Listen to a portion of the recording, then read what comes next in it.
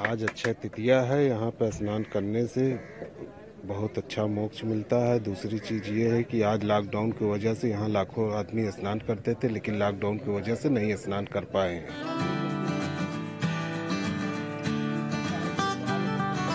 है कोई जा नहीं सकता कहीं, क्योंकि सब लोग अपने घरों में कैद हैं और बाहर निकले तो बीमारी हो जाएगी उनको। इसलिए बचे हुए लोग, यहाँ संगम में भीड़ बिल्कुल नहीं है। देखिए, कहीं का इक्का आदमी है, बस और कोई है यहाँ है नहीं।